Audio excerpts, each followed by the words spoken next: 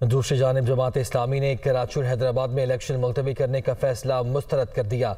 जमात इस्लामी कराची के अमीर हाफिज रहमान ने वीडियो पैगाम में कहा कि रात की तारीखी में पीपल्स पार्टी और एम के एम ने कराची और हैदराबाद पर शब खून मारा है।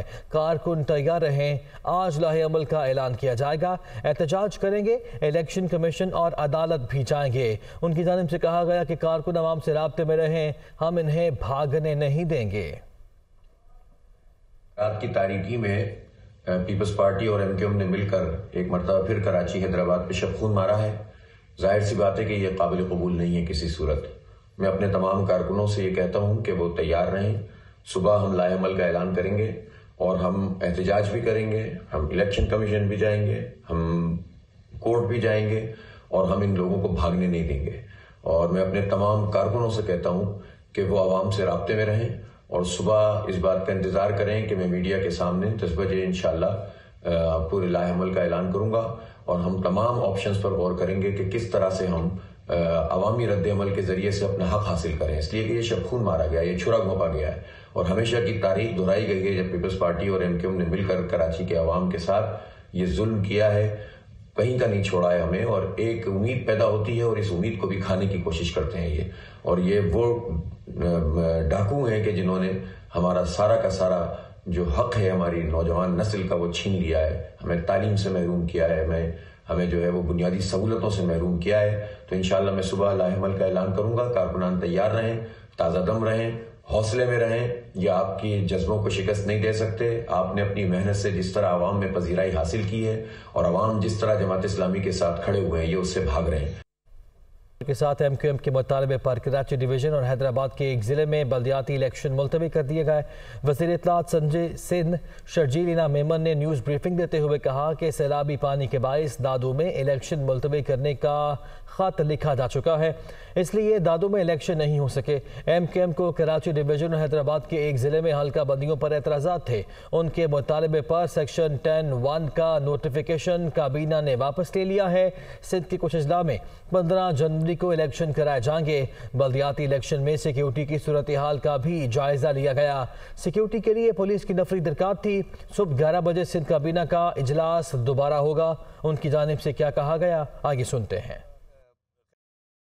इलेक्शन कमीशन ऑफ़ पाकिस्तान को नोटिफिकेशन जो इशू हो गया है, वो हम भेज देंगे कि कराची पूरी डिवीज़न और हैदराबाद का एक डिस्ट्रिक्ट जो है, उसमें जो है, वो जो हम पहले नोटिफिकेशन जिसमें तयन किया गया था वो विड्रॉ कर दिया गया। उसके बाद होगा ये कि सब कमेटी तमाम पॉपुलेशन को देखकर एक मतबा फिर ये एक्सरसाइज करेगी।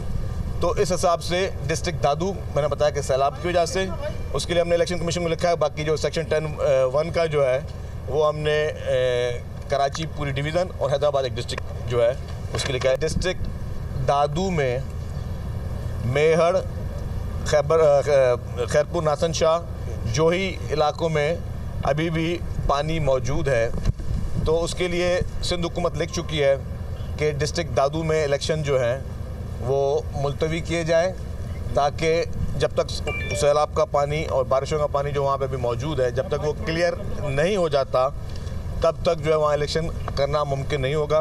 पंद्रह तारीख को इलेक्शन होंगे, उसमें Tando Allahyar district, Badin district, Sujawal district Thatta district, Tando Mohammad Khan district, Matiari district और जामचोर डिस्ट्रिक्ट। उसमें सिंध हुकूमत जो है मुकम्मल तौर पर तैयार है और वहाँ के लोग जो है वो अपनी इलेक्शन की जो है मुकम्मल तौर पर तैयारी करें। उन अजला में किसी किस्म की इलेक्शन को जो है वो किसी किस्म की उसमें डिले नहीं होगी। सेक्शन टेन वन जो है, जो कि एम क्यूम के मुतालबे पे उसको जो है वो सिंध काबीना ने आज उसको विड्रॉ किया है और हम जो भी फिर कानूनी तरीके होते हैं उसको वो फॉलो करेंगे।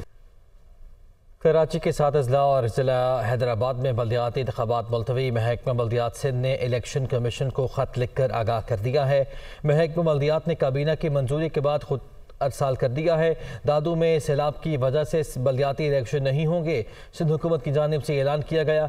कराची डिवीज़न और ज़िला हैदराबाद में हल्का बंदियाँ अस्तर नो की जाएँगी सिंध हुकूमत की जानब से रात गए, ये फैसला किया गया है। तो अहम खबर है, जिससे मुतल आपको आगाह कर रहे हैं। एक बार फिर तखिर का शिकार होते हुए दिखाई दे रहे हैं बलदियाती इंतबात कराची में। कराची के सात ज़िले और ज़िला हैदराबाद में बलदियाती इंतबात मुलतवी कर दिए गए हैं। महकमा बल्दियात सिंध ने इलेक्शन कमीशन को खत लिखकर आगाह कर दिया है। महकमा बल्दियात ने काबीना की मंजूरी के बाद ये खातिर साल किया है। दादू में शराब की वजह से बल्दियाती इलेक्शन नहीं होंगे, सिंध हुकूमत की जानब से यह कहा गया है। वज़ीर अला सिंध, सैयद मुराद अली शाह से एम क्यू एम के वफद की मुलाकात हुई। एम क्यू एम के वफद ने हल्का बंदियों के फैसले पर शुक्रिया अदा किया। मुलाकात करने वाले वफद में फारूक सत्तार, ख्वाजा इजहार हसन शामिल थे। इनके साथ साथ मुस्तफ़ा कमाल, वसीम अख्तर, फैसल सब्जवारी और दीगर भी मौजूद थे। मुतहदा वफद की वज़ीर अला सिंध, नासिर हुसैन शाह, शर्जील मेमन और दीगर रहनुमाओं से मुलाकात हुई।